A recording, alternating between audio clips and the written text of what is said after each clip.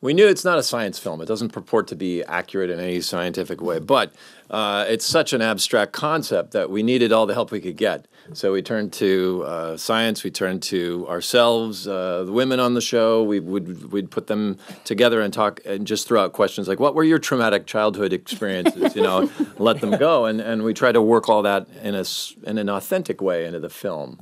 So, um, but I think the research was really important. It is on every one of the projects we've worked on.